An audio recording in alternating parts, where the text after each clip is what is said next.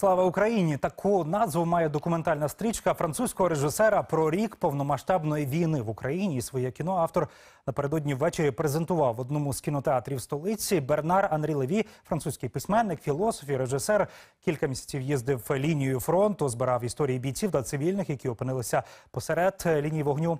У фільмі він описує свої думки і відчуття, як сприйняла українська публіка це кіно, і чи збирається автор знімати ще одну стрічку про нашу перемогу. Кореспондентка ТСН Мар'яна Бухан далі розкаже. Слава Україні це вже другий фільм іноземних режисерів, які показують за останній тиждень лише тут, в столичному кінотеатрі Жовтень. Обидва іноземні режисери зізнаються, вони здебільшого працювали для іноземного глядача, але їм і важлива думка українців. Військові, серед яких багато впізнаваних облич, дружини захисників, які досі в полоні, українські міністри і зірки шоу-бізнесу. Усіх їх зібрав фільм французького режисера. Цей фільм, його головна ідея і мета показати всьому світові, з яким ворогом ми стикнулися, які ми несемо втрати, яке страхіття вони принесли в Україну, але при тому Україна їх а стримали, почала бити, викидати з з нашої землі. On peut descendre dans les tranchées sans risque d'essuyer un tir ennemi. У стрічці Бернара Анрі Леві немає одного чи кількох головних героїв. Це здебільшого оповідання автора, де переплітаються життя військових і цивільних, і де автор за кадром розповідає, що переживають і вони, і він сам. І все для того, щоб глядачі за кордоном краще зрозуміли українців. Для них розуміння більш глибше розуміння взагалі ідентичності українців.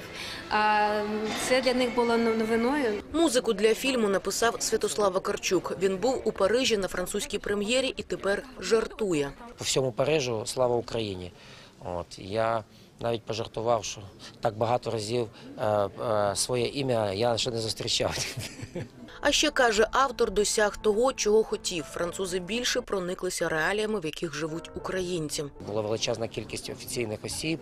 Був е, колишній президент Оланд, була мер Парижа, було дуже багато змі, відомих людей.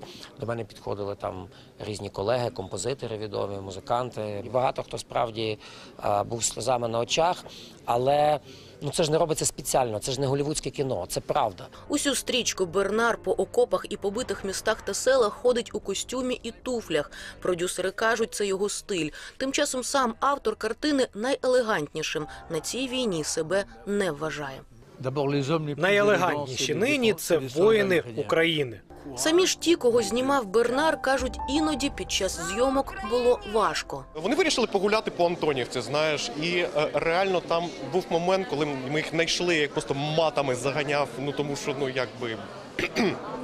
Не- Небезпечно з цивільними ну, вірніше, з нашими колегами, хто подосвідченіше, напевно, простіше. Такі фільми надважливі нині, вважає міністр закордонних справ України, бо стукають у серця не лише європейців, а й допомагають дипломатам робити свою справу. Дуже сподіваюся, що цей фільм побачить не лише у Франції, але в усіх франкомовних країнах, тобто насамперед в Африці, там, де і ми зараз і ведемо цю битву на глобальному півдні за думки і емоції, і за розуміння власне того, що відбувається. Тим часом сам автор переконаний, українцям усе вдасться, і світ допоможе. Питання перемоги воно вже вирішено. Україна переможе.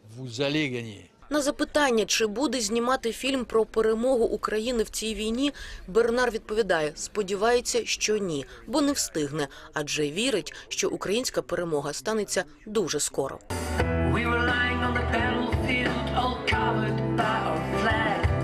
Мар'яна Бухан, Олексій Осавчук, Вікторія Письменна, ТСН 1+,1, Марафон. Єдині новини.